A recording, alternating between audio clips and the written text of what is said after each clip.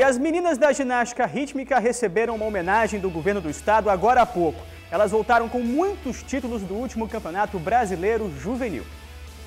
Uma homenagem mais que merecida. As meninas da ginástica rítmica capixaba foram recebidas por integrantes do governo na manhã desta sexta no Palácio Anchieta. O Espírito Santo voltou de Aracaju, no Sergipe, com o vice-campeonato brasileiro juvenil por equipes.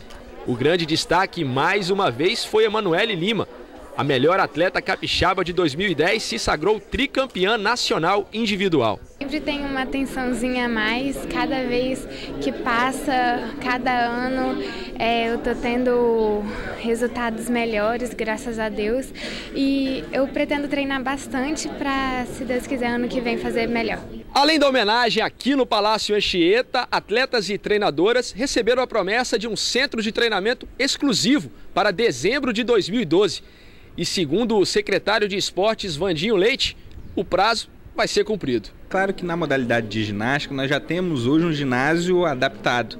Mas essa parceria aí do Ministério do Esporte com a Confederação Brasileira de Ginástica Rítmica e o Estado do Espírito Santo, né, da Secretaria de Esportes e a Federação Capixaba, vai fazer com que o nosso estado é, seja incluído como centro de formação de atletas de ginástica rítmica no Brasil a presidente da Federação Capixaba valorizou a recepção e as promessas feitas, mas disse que o intercâmbio com os treinadores do exterior precisa aumentar. Sempre tivemos outras técnicas aqui, seja cubanas, búlgara, nós tivemos.